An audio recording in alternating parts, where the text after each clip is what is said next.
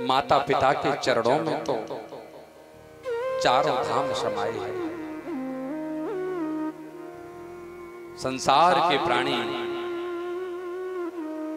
मर जाने के बाद बढ़िया सी तेरे कराएँगे पिंडदान कराएँगे, ब्राह्मण भोजन कराएँगे, लेकिन जीते जी माँ और पिता के लिए भोजन नहीं खिलाएँगे।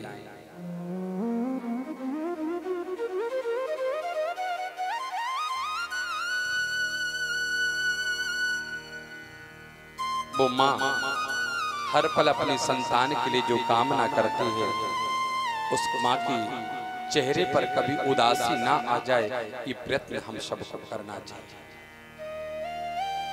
माँ का वो कर्ज है जो अपने जीवन में हम कभी चुका नहीं सकते। कितने लोग हैं जो माता पिता को भूल करके अपने परिवार के साथ रह रहे हैं।